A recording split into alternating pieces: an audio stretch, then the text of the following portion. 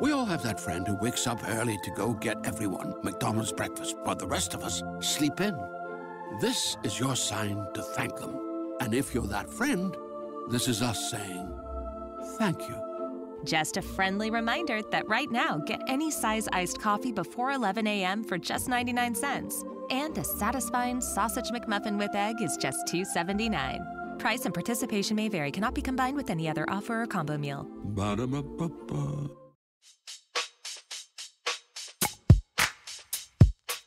Welcome to Dear Prudence. I'm your Prudence, Jenée Desmond Harris. We're doing something a little different today. Instead of an episode of Dear Prudence, I want to share with you an episode of Choice Words with Samantha Bee. It's from our friends at Lemonada Media. So you probably know Sam Bee from her time as a hilarious news correspondent on The Daily Show, or maybe from her own show, Full Frontal with Samantha Bee. Or perhaps you know her from her live show, Your Favorite Woman, which she's been touring all over the country. In her podcast, Choice Words, Sam sits down with people she admires to examine the biggest choices they've made in their lives and the ripple effects those decisions have.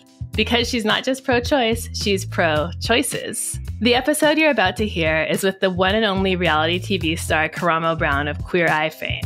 They talk about the biggest choices he's made in his life, his unconventional journey to fatherhood, and how he learned to stop living in fear. As you're enjoying the listen, make sure to follow Choice Words on whatever app you're listening to right now. The more you listen, the better choices you'll make. Money back guarantee. Good thing it's free. Now, here's the episode and host Sam Bee. It can be so hard to choose to be positive when the world can be so cruel, so challenging. It's really hard to remind yourself to lean into love when so many other things need your attention. Thinking about parenthood, parenthood can be so overwhelming on its easiest days. And it can be words that I'm not even sure I'm allowed to say on this network on its very worst days. My husband and I, we have three kids, but before that, we had two, two kids, two full time jobs. Then we decided to add a third child. And at that time, our biggest concern wasn't space. I mean, it should have been. Our apartment was ridiculously tiny. One of our children slept in a drawer. It wasn't even money. And again, it, it should have been. Kids are ungodly expensive.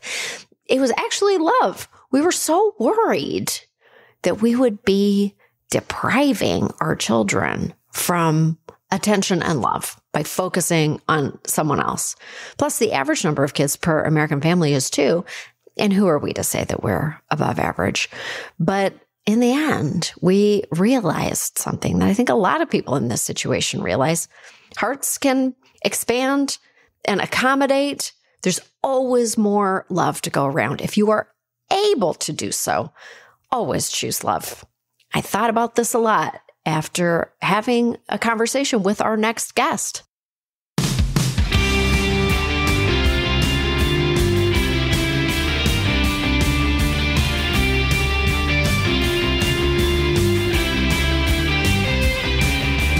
This is Choice Words. I'm Samantha Bee. My guest today is the super thoughtful and charming Karamo Brown. You love him from Queer Eye and his talk show, Karamo, and I got to talk to him about choosing love, choosing forgiveness, and choosing fatherhood. He tells himself every day that there is an abundance of love out there, and I absolutely love that. Take a listen and make good choices.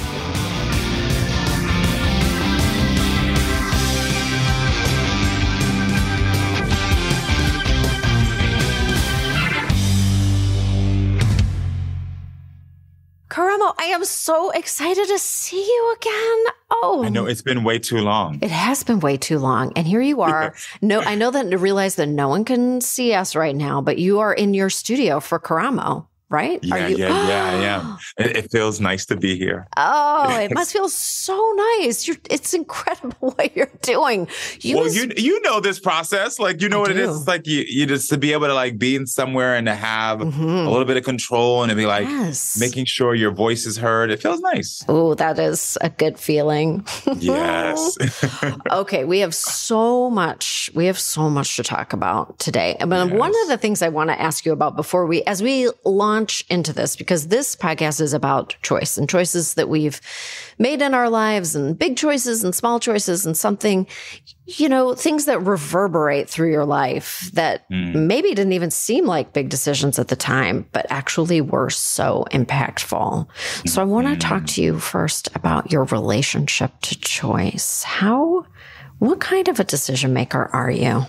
I'm very decisive. I was just going to say, you seem like a very decisive. The sharp lines decisive. of your blazer are communicating. The beard, it just tells you sharp lines. This is what it is. We're doing this and that. Mm-hmm. Um, but that that decisiveness even within that has evolved oh really because i realized that early on my decisiveness was a protection that i had oh. it was me being able to cut things off very quickly to say i'm not going right i'm going left okay. because i lived in a sort of fear fear based place okay. majority of my life as a child who didn't have a lot of stability. Mm-hmm. There was always an underlining of fear ah. and, and decisiveness gave me the illusion of control. And yeah, it made me feel like, okay, I'm controlling my life. So I don't have to ever feel insecure or unsecure again because I've just made a decision instead of realizing that sometimes the, the, the, the decisiveness was an illusion. Ow. And I really didn't have control. I was making a choice because I thought this is what would make me feel safe. And I realize now that though I'm decisive, mm-hmm. there's a lot of thought. There's a lot of understanding of like, okay, how does this affect me? How is this affecting? I, I ask this question to myself always. Sorry, and not yeah. to go too deep. No, no, no, no, no. This is so interesting. I ask myself, and I do this all the time. I yeah. ask myself, how would um, how would baby Karamo, how would teenage Karamo, and how is um, Karamo now all going to relate to this decisive decision? Because baby me wanted to be loved and protected. Yeah. Teenage me was rebellious and wanted to fight back. And okay. present me is older and wants peace. And decisive decisions have to be able to make sure that they're aligning and healing and giving to all three of those versions of me because all three of those versions of me live in me. And so my decisiveness is not the wall right. and illusion of control that it was before. It's now a thoughtful decisiveness. I feel like I relate to that in a way. Like I feel like there's something about, you know, when you're going through, when there's trauma in your life, there's something about cutting people out of your life, cutting people out of your heart, and you have to do it. Yes. Like a, like excising a tumor or something like that. You just have to make a move. Yes, yes, but it's it's that uh, it's it's, it's that illusion of mm-hmm. fake security. It's right. the fake control. And I didn't want to do that anymore. Right. And so I, and now I'm just thoughtful about the versions of me that still live in me that need to constantly be healed and loved on and to be acknowledged mm-hmm. and how my decisions affect all of us. And it sounds like I'm talking about myself as I have multiple personalities, but it's not. Oh. It's just, it's just baby, baby Samantha is still in there. Baby Sam is still in there. Yeah. And whatever happened as a kid and whatever happened to teenage Sam is still in there. Mm-hmm. And that one wants to fight and kick ass and she wants to, she wants to change the world. And, and adult you is like, I, I still am going to be both those people who want love and to fight, but I also want some peace and honesty and kindness and clarity. And my decisions my decisions align with all three of them. Everything that you're saying so so thoughtfully is what I see and I'm going to I'm going to come back to this point but everything that you're saying right now is what I see in your show. Aw. Your patience with people, the way that you speak so tenderly to them as they're in crisis or like trying to make sense of the different versions of themselves or yeah. whatever it is, the trauma that they're experiencing. I feel that mature Karamo coming to like acknowledge the mm-hmm. past. Yeah. But also try to like make a path forward. You're so sweet. I appreciate that. Like, God, honestly, I really appreciate that. 100% true. Thank you. 100% true. You can see it in every episode. You. you. really can see it. Um, is there a choice that you can look back on in your life that you think really changed, I guess, changed the trajectory of your life? Maybe in an either in a very expected way or or something very unexpected? I mean, there's two choices. Um, that I think really affected me big time mm-hmm. that were real choices that I know that I made yeah. and that changed directory. Uh, one is physical and one is more emotional. Mm-hmm. Um, so the emotional one was the day I stopped living in fear based decision making and more abundance based decision making. Okay. Which was big for me because again, unstable childhood, sure. like things going on, you know, abuse in my household, um, daddy drinking and smoking too much weed. I thought everything was always going to be taken away. Right. And then one day I realized that like, if even if something is taken away, God and the universe and I will still provide. Like I, it, it will still come. There's, I don't have to be fearful that I'll be left out without anything. Like I, more will come. I because I deserve it, mm-hmm. and I'm walking in line with with truth and honesty that I, yeah. I'm going to get more. Like so, if I lose this job, I've never been fearful that I won't get another. You know, I, I, if I if I lose this relationship, I'm not fearful that I won't get another because I no longer live in that fear based place that I used to live in, and that was a conscious choice that I had to practice, where I'd see myself staying in a relationship that was so that I knew I wasn't supposed to be in, and then I was like come on, you deserve more than this. And there's an abundance of love out there that you're going to get. Right. And I would have to repeat that to myself daily, Karamo. There's an abundance of love out there that you're going to get. And it just, it took away the power from the fear. So that was the one choice that I made that changed the directory. That and is then, really, really good. That's a practice. That is a practice, practice that you have to practice, do. Practice, practice.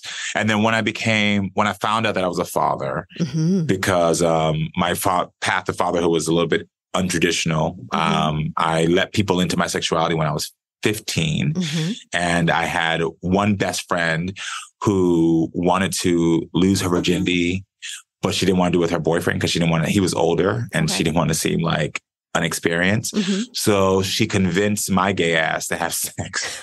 and I was like, why? You know, I'm a homo. And we, she was like, come on, well, let's try it. And I said, okay, like being an idiot teenager and and it lasted all of one minute and then she moved away mm-hmm. and then 10 years later she was like surprise here's your kid and wow and the day that i decided to forgive her mm-hmm. so that mm-hmm. i could have a better relationship with her and my son and then also to take custody of my son changed that choice that choice because I was like, I could live in the, I'm upset at you for not telling me about my kid for 10 years mm-hmm. and what you did to him, what you did to me and all this stuff. But I was yeah. like, I forgive you. I forgive you. This is a choice and I want to get closer with you. And then also I'm making a choice to take custody of my son right. because you, I didn't, I missed so many years and I don't want to miss another one. And both choices deeply impacted my life. Oh, deeply. That is a deeply. huge choice. That yeah. is uh, that is that is like a very that's like a that is next level forgiveness. Girl. And that Girl. is a that is a practice too. Like that is something is so yeah. intentional. Yeah. And so healing for you, so healthy for you to be able to do that, but not that's not easy. It wasn't. And to be honest with you, I, at the moment, I didn't know that I was doing it for me. I mm. I was doing it for um, baby Karamo, right?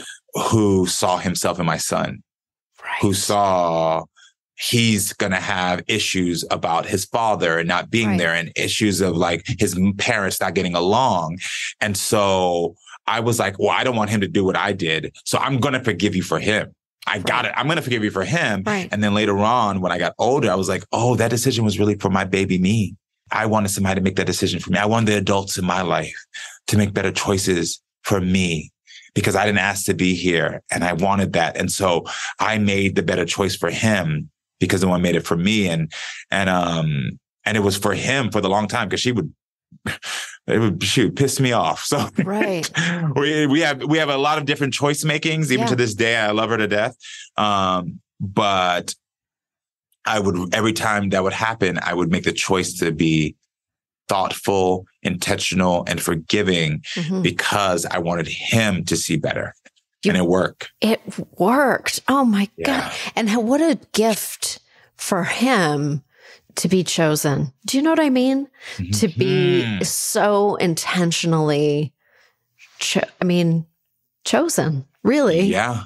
Yeah. Yeah. I see the adult that he's become and how adjusted he is. Mm-hmm. And I know it's, it's, it was that he went from seeing, feeling alone, feeling distant, right. feeling like isolated, feeling like things are going to always be in confusion to, mm-hmm. oh, people are choosing to be better for me and I'm priority. Right. And I see how he responds to life now. And I'm like, thank God. Thank God you did that. Thank for you yeah. and for him and for your whole entire family. Right. That kind of limitless love is. But I didn't know in the moment. I gotta no, tell no, you, no, not, i don't want to sit here and be like I was some guru. In the moment, no, it was no, like no, no, no. gritting my teeth and being like, "Oh, this better pay this off is... one day because I'm I'm so you know." have your career choices changed a lot since you became a parent? How have you how have you navigated that world? Because your career has exploded, obviously. Yeah. Well, you know, I believe in there's a bigger and diviner plan mm-hmm. that I'm like, I, I always knew I wanted kids. Like when I was in college, I was like, yeah. I want a, I want a, I want a husband, I want kids, and, and these things. Like I was very traditional. I still am very traditional. I still want marriage and all that stuff. Mm-hmm. Um, and it's not for everybody for me, but I was, I was like, I was like, you know, the universe, God had a bigger plan because if I would have tried now, I wouldn't have been like being able to have the, my son, like my son is 26 now, wow. which gave me the ability to now when to like I'm still young. I'm you know I'm right. 42. Yeah. That like now I'm like able to travel and do my career. And as you know, these careers are demanding. That I'm mm-hmm. like, if I had a toddler on my shoulder, right, I could I couldn't do it. And well, I could, as many people do, but I'd be I'd there'd be so much guilt that I'd have to be working right. through and things that I'd have to be figuring out where now I'm like, okay. He he can I'm kind of go on that journey with you a little bit. Like you are He's he's on it. Yeah. He comes with me where we do stuff together because he's 26. So right. it's like, you know, about to be 27. And I'm like, oh, this works. This works. We'll be right back with Karamo after this.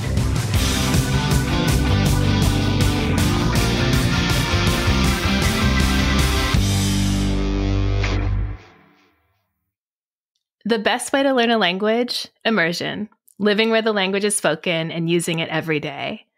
But if that's not in the cards this year, you can still learn a language the second best way, and that's with Babbel. I love how easy it is to use, and as a person who can be really self-conscious about making mistakes, I love that I don't have to actually talk to a real human while I'm still working on my vocabulary and my accent.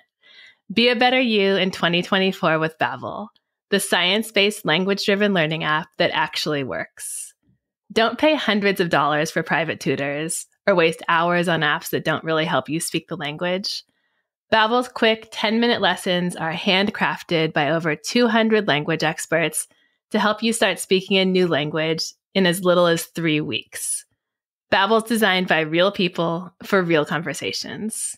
Babbel's tips and tools are approachable, accessible, and rooted in real-life situations. They're delivered with conversation based teaching, so you're ready to practice what you've learned in the real world. Babbel has over 16 million subscriptions sold. Plus, all of Babbel's 14 award-winning language courses are backed by their 20-day money-back guarantee. Here's a special limited time deal for our listeners. Right now, get 55% off your Babbel subscription, but only for our listeners at babbel.com slash prudy. Get 55% off at babbel.com slash prudy, spelled B-A-B-B-E-L dot com slash prudy. Rules and restrictions may apply. This podcast is brought to you by Progressive Insurance. Let's face it, sometimes multitasking can be overwhelming. Like when your favorite podcast is playing and the person next to you is talking and your car fan is blasting, all while you're trying to find the perfect parking spot. But then again, sometimes multitasking is easy, like quoting with Progressive Insurance. They do the hard work of comparing rates so you can find a great rate that works for you, even if it's not with them. Give their nifty comparison tool a try, and you might just find getting the rate and coverage you deserve is easy. All you need to do is visit Progressive's website to get a quote with all the coverages you want, like comprehensive and collision coverage or personal injury protection. Then you'll see Progressive's direct rate and their tool will provide options from other companies, all lined up and ready to compare, so it's simple to choose the rate and coverages you like. Press play on comparing auto rates. Quote at progressive.com to join the over 28 million drivers who trust Progressive. Progressive Casualty Insurance Company and affiliates. Comparison rates not available in all states or situations. Prices vary based on how you buy.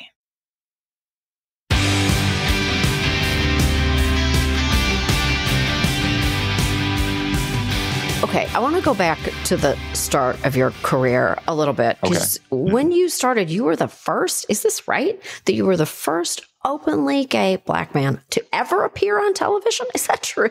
No, on reality television. On reality television. Okay, reality. that's the specific. Yeah.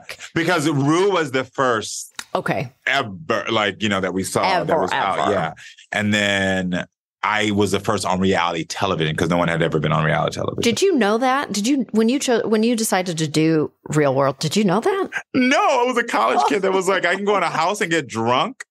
They're gonna give me like five thousand dollars to spend my summer in a mansion with a hot tub. Sure, sign me up. I wasn't even thinking about like let's be on this show and make let us know, increase representation in the TV landscape. Exactly. I want it. I want, mm. yeah, I want representation and diverse. I want people to. No, I was like. I was like, so how much liquor is in here? Is Will there a margarita be... machine? Do because I get... I prefer I need a whole slushy machine. exactly. Just for me. For my flavors. exactly. okay. It is a truth. It is a truth. Oh, so, I mean. I found out later because after it was done, it was like, oh my gosh, like you've done this. Yeah. And um, it's wild because I remember when I shot this in 2004, mm-hmm. we went to a black gay club on the show as they follow you to clubs on those reality shows. Yeah. And nobody wanted to get on camera because the stigma in the black community and communities of oh. color was so much and there were so many people that were still dying. I mean, still, you know, trans women of color died, high rates, mm-hmm. you know, mm-hmm. gay men of color are still at risk. But back mm-hmm. then it was serious. It was like you are getting shot when you walk around your corner that no one wanted to be on mm-hmm. camera. It was like I'd walk in a club and they would all scatter.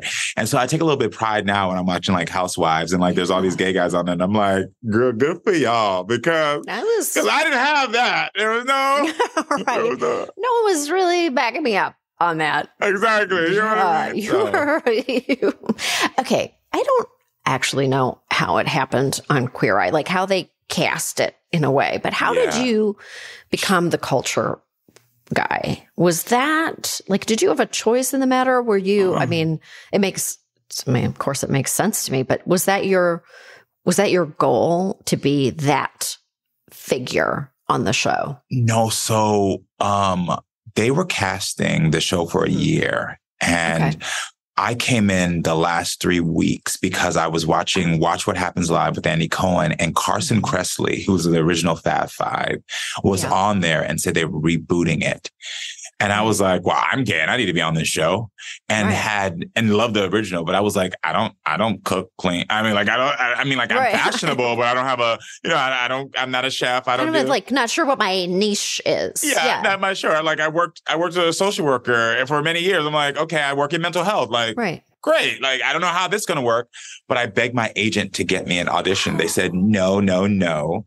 And then this woman in cast named Gretchen said, well, as a favor, I'll bring him in. But what category does he want? Mm. And I was like, I was like, let her decide because I don't know. Right. I mean, like, I got kids, I can cook. like, right. I, I cook, like, I know how to put together an outfit. Like, I just really had no idea. And then I got, they decided culture because it was generic. And so that's how they brought me in. Okay. And when I got there, they were doing the chemistry test. So was, they brought in the, their top 50. Oh. And Did you say their the top people, 50? Five zero? Five zero. Oh gosh. That was a chemistry because they were going to mismatch. Right. And so we spent, we spent two days mismatching for the five. Okay. And uh, I remember everybody else in my category were all art curators. They were all Broadway, Broadway stars, composers, because oh. culture was that.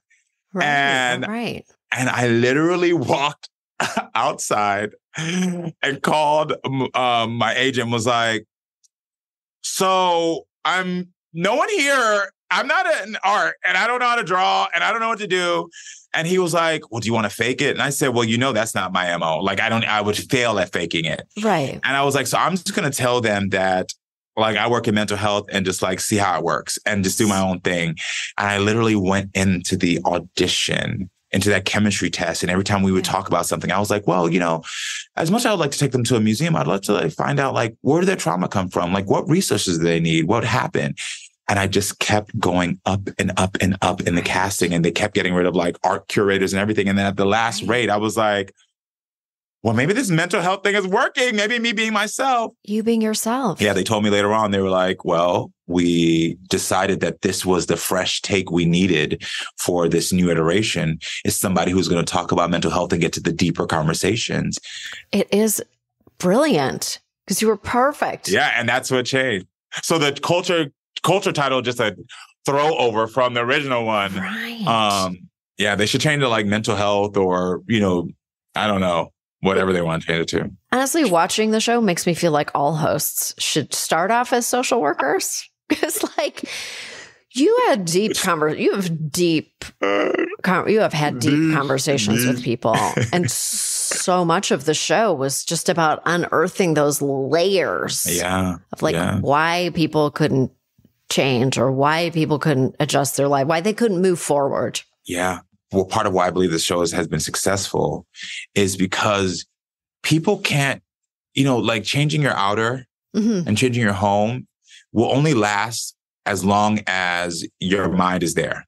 Yes And so you can get cute in the morning, but the minute that like something pisses you off and you feel depressed, you're not going to dress up. yeah You know, people sit in their house. They, that's why we see every movie when someone is not in a space where they're happy or their Yeah. self-esteem or emotions are down, they don't change their clothes. They don't do their hair. They don't, their house becomes a mess. yes And so for us to be able to work together has been such a blessing because you need each component for it to stick. Yes.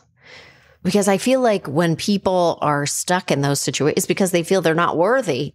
They're not worthy. They're not worthy of an exterior that looks nice. They're depressed. That's it. They don't feel like they deserve yeah. That's it. to live a high quality life. And that is, I mean, I feel like I feel that uh, on your show on Karamo. Oh, thank you. It is an extension of the work that you were doing on Queer Eye. And I think that Yeah. that certainly holds true.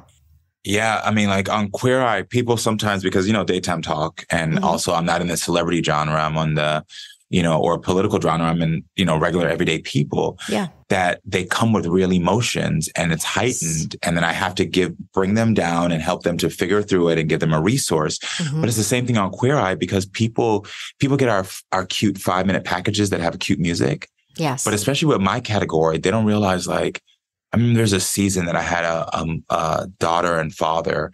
Um, it was in Philadelphia, and the daughter was decided to leave the house Mhm. because her father just was like so strict and a Latino family, and he wanted her to be in the business and wanted all these things, and she, she rebelled and ran away, and he hadn't seen her.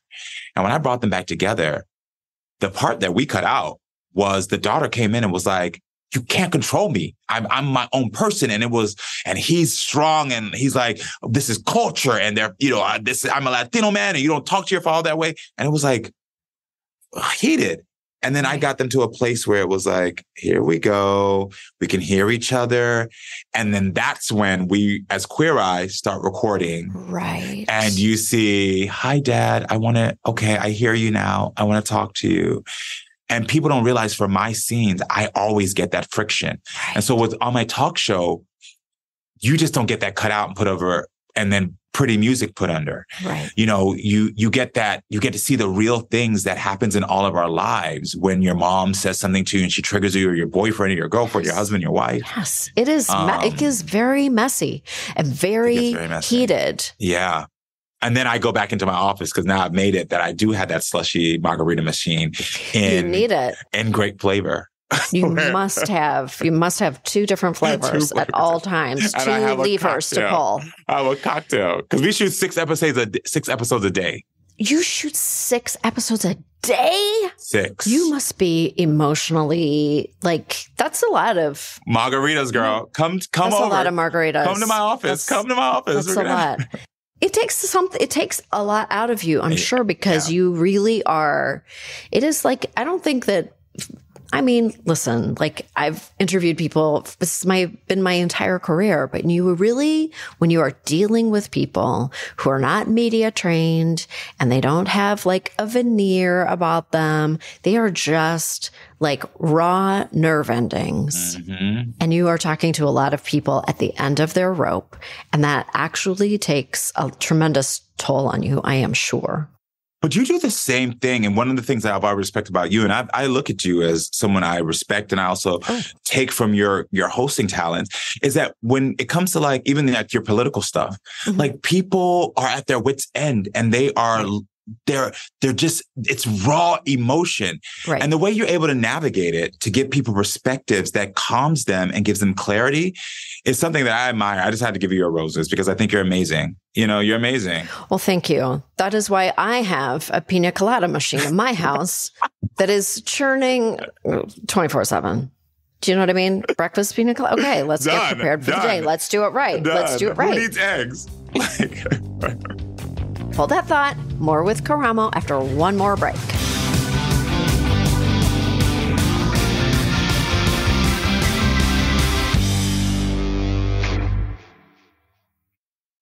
The new Starz series Mary and George, starring Julianne Moore and Nicholas Galitzine, tells a story almost too outrageous to be true.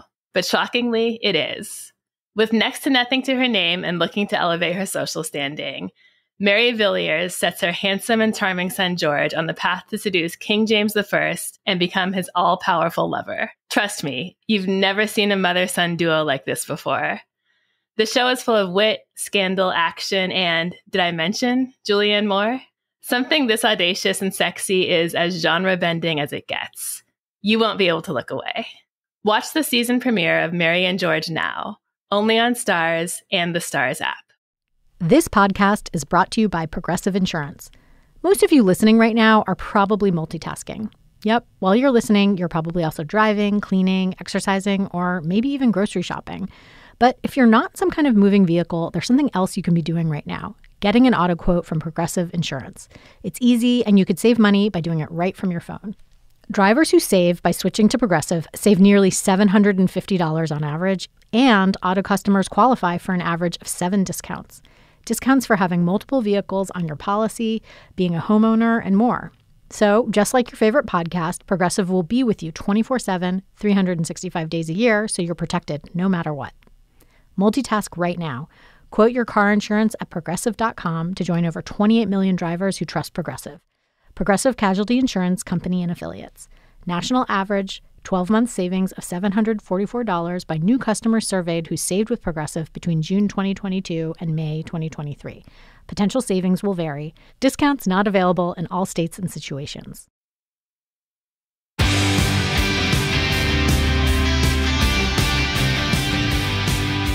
So, Karamo is taking the place of Maury, which was on the air for decades. What decisions did you make to ensure that you would that the show would have its own identity?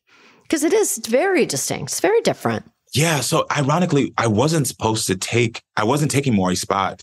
Mm-hmm. What happened was um they announced my show and then he announced he retired a day later, or in reverse. Okay. They were it already planned. You know how this works. It was already planned sure. for to announce mine, and then he decided he was retiring because you know he had done the thing, and then press was like, here's his replacement. And it was like, it worked out because, because of that. I did take a couple of elements that I did respect about his show, but did in my own way. Like, or yeah. one one element particularly is that I mean, everyone talks about like you are the father, or whatever. Um, but because of my own life with a paternity issue mm-hmm. and finding my child later on, I wanted that element. Right. And at first, I wasn't going to have it on my show because of the fact that I was like, I'm not. I don't want anybody to compare me to Maury. Right. and, then, right, right. and then people and then people did it anyway, and I was like, well, no need to fight that battle. And so I took that element. The only difference is that I don't do babies. I do adults like myself who, who can understand what it means to have results um, from a paternity test. Mhm. But I mean, like I, again, I I also when people said that, like I keep my show different. Like the difference, main difference between me and most people that's in this genre is I want resolution, Yes. and you know I want resolution and I want tools. And last season one, I gave out um more more therapy Mhm. than NBC probably wanted to pay for. But I was like, I don't care. Like every episode, I was like, at the end of it, I was like, can I give you, can I pay for therapy? And they're like, yeah. That now season two of my show, we've already shot two weeks. And, and I remember there was one episode where I didn't offer them therapy and they were like, so I don't get free therapy. Where's my therapy? And I was like, yeah, well, I'll give you therapy. You want therapy? It's good. It's like a sign that you don't. I'm not Yeah, offering you. I was like, yeah. it's a good thing. Yeah, I was like, I was, I was like, you did good, but yeah, sure, we'll, Okay. we'll pay for a session or two. Um, That does feel like such a difference that you're like, it doesn't feel like you're trying to get people to throw chairs at each other. In fact, it's the opposite. opposite. Yeah, I'm like, Complete opposite. I'm like, you gotta calm down. Like, if someone starts standing up and they start doing something, I'm like, no, no, no. I'm like, it's Mhm. okay for you to show your emotions and be a human being because we all have them in our, our moments of like, we're frustrated. I've been dealing with something for 15 years and I don't feel heard or I, f- I don't trust you. But you got to get calm because unless you want calm, calmness and clarity, then we're not going to be able to get through this. Right. I, anyways, you- you're so great on your show, but you're so good at giving, you are good at giving advice. You are great at guiding people. I Hey. think that's people who have walked through fire are always like really calm and good at like guiding other people. Who do you like? uh, Do you seek other people's advice when you're trying to make the big Yeah. calls? Do you have a, I do. who do you lean on, I guess? Or, Um, the, so I'm the youngest of four sisters, and and I was obviously my mother and father in their tumultuous life. I was raised by my mother Mhm. because by the time being the youngest, she finally got the courage to leave my father being abusive when my sister, my youngest sister, was leaving high school. So then it was just she and I, okay. and um, I look to them. They are my rocks. My, you know, I've I've always said I don't understand how we ever thought God was a woman. I mean, a man. Right. I never thought how we thought that, especially when the only thing we know on this world is women to be able to reproduce other than trans men. Sorry, before, you know, someone, but you know, like women to be able to reproduce. And I'm like, so the thing that creates everything is a man? Mhm. Doesn't make I sense don't to me. think so. I don't understand that. Um, and it's always it's it's also what's given me my empathy and what's Mhm. given me my clarity is when you're surrounded in a household where people are willing to be vulnerable while also being strong, be forward while also understanding that it's okay to let other people lead. Like when you see just people who, you know, these women in my life that showed me, I just mimic them. I mimic Right. them. I really do. And th- and anytime I have something, I go to them and I say, check me. You know, let me know where I'm at. Right. Like, because I trust what you have to say. And do they check you? They're like, absolutely Oh. not. A- absolutely all the time. Okay. It's only been in a shift, like maybe in this past two years where now they've been calling me oddly the like the you're the patriarch of the family now. Like I'm the oldest, I'm the oldest Right. boy out of all the cousins. So they're like, you know, you gotta handle this now. And I'm like, girl, when did this happen? I'm okay with y'all handling it. Like y'all been doing a great job. You know, but um but now they're checking me. They're not checking me as much, but they love to check me and tell me Oh. like, Okay. and I have a sister who is a counselor. Um, she's a PhD and she loves to critique my advice all the time. Oh, really? she loves to be like, so, um, you were right, but you know, clinically speaking, you could have probably went a little bit further here. Oh, And I'm like, thank you for educating me. She thinks she's reading me, but she also just makes me better. That's amazing. So, Yeah. one of the things that I think you're also so incredible at is getting men to be so vulnerable. Mm, Okay. Like, we obviously, as a country, reckon with misogyny and Ugh. sexism and all kinds of garbage, patriarchy all the time. And so much of that, I don't know, feels like it's the, because men are just conditioned to like, not all men, but you know, a lot of them are just conditioned to like hold it all in, like suck it in Mhm. and try to ride through every situation on a white stallion and save the day. And it just doesn't work at all. at all. Not wanting to appear emotional is like, it's a crisis. Yes. It's a crisis. Yes. How do you break through to men in particular? I mean, is it becoming easier the more that you do it? It's very tricky. I think for me, it's become easier because now men know I'm a safe space to do it. Okay. So um, we have house parties and you can always catch a guy in a corner crying with me. I'm not even joking. not even joking. Like my girlfriends would be like, "Where's my Where's my husband?" And they're in a corner somewhere, oh. like on my shoulder, and I'm like, "It's okay. I'm, I got it. Don't worry. Like, sometimes I just don't want to be the hero. Yeah, exactly. But, you know, I'm like, okay, baby, it's okay.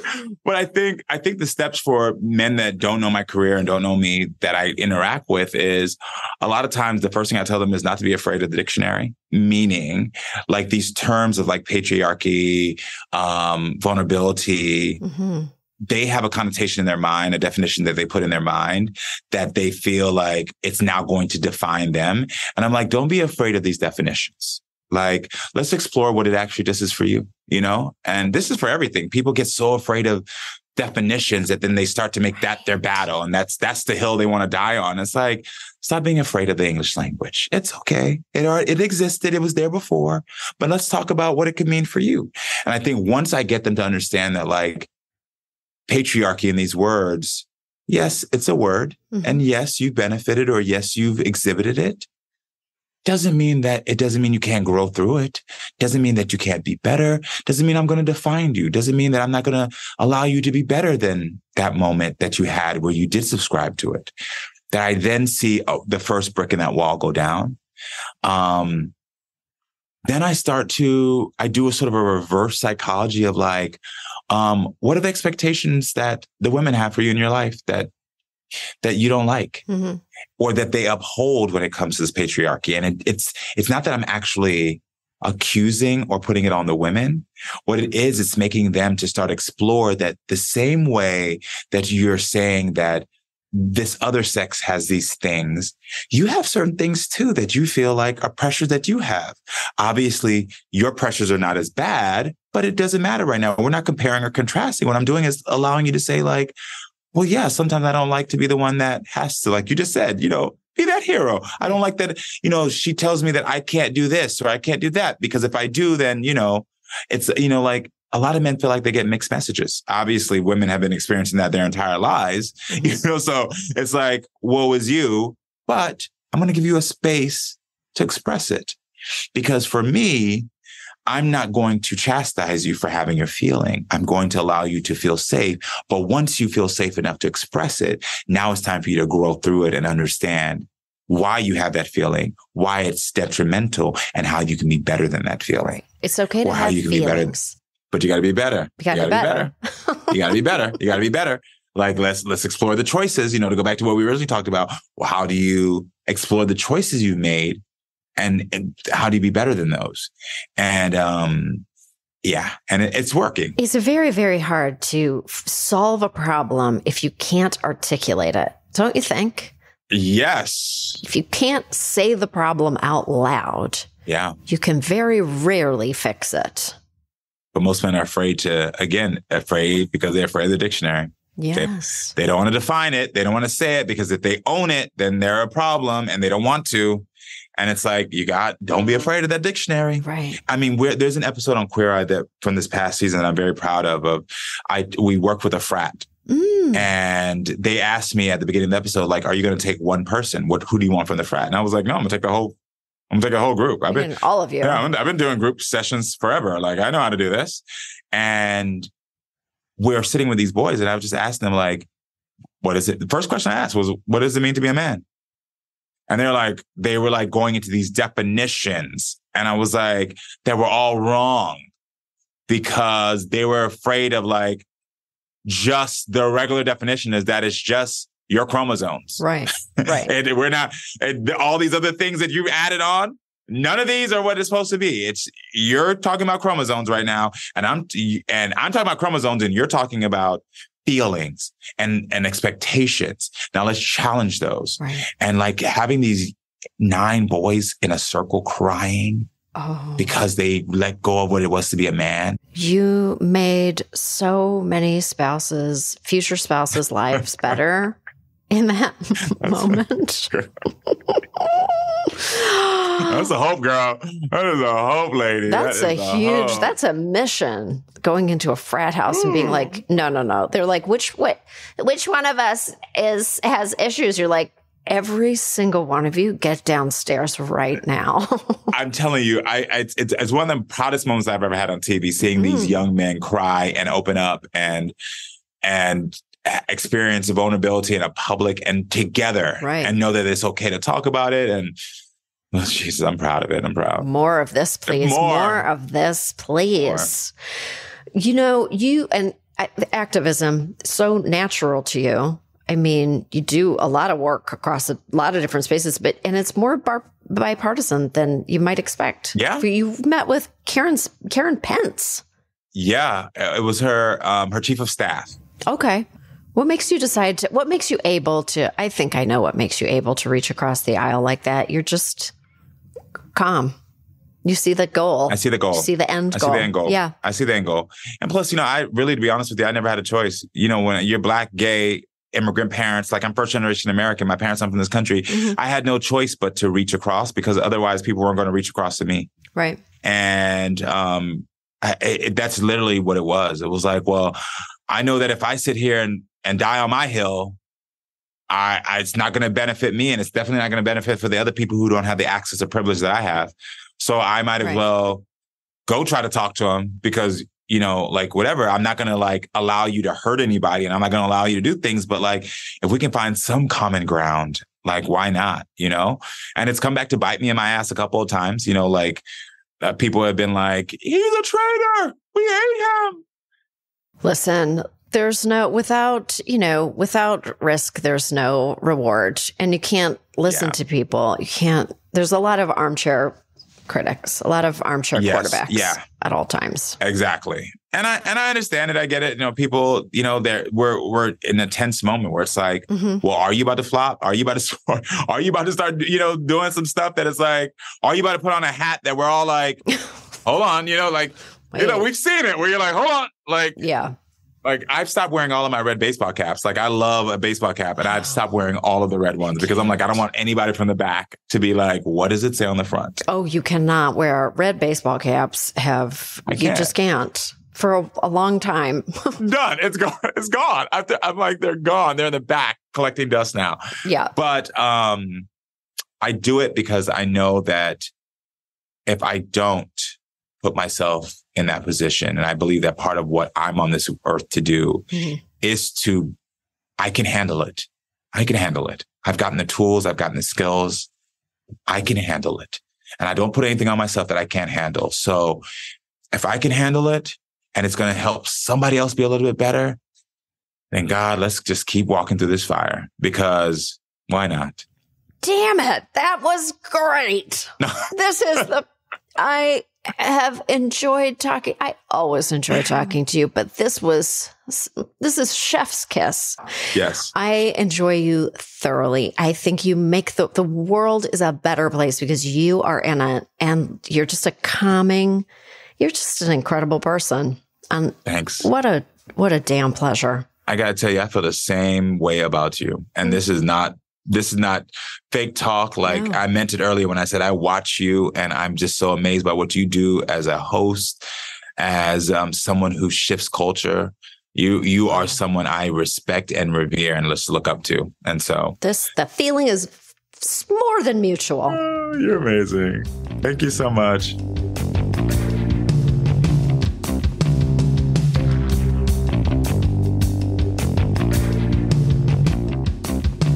That was Karamo, and I had no choice but to look up one thing. He really made me want a slushie. So I had to know who do we think for slushies? Well, it all goes back to the 1950s in Kansas when the soda machine at a Dairy Queen stopped working and its owner put all the Cokes in the freezer and then sold them half frozen. It was a hit. I mean, obviously, that shit is delicious. Case closed. And good news, there's more choice words with Lemonada Premium. Subscribers get exclusive access to bonus content like a funny outtake from my recent interview with Eric Andre. Subscribe now in Apple Podcasts.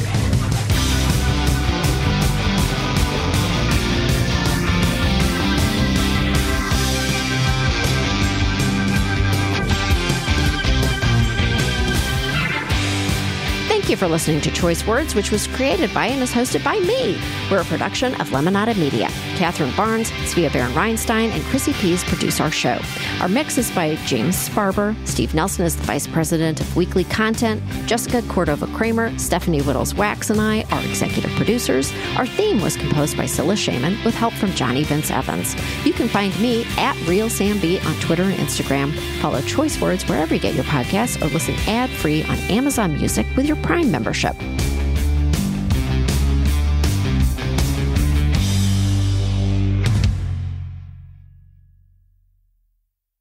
The new Starz series Mary and George, starring Julianne Moore and Nicholas Galitzine, tells a story almost too outrageous to be true, but shockingly, it is. With next to nothing to her name and looking to elevate her social standing, Mary Villiers sets her handsome and charming son George on the path to seduce King James I and become his all powerful lover.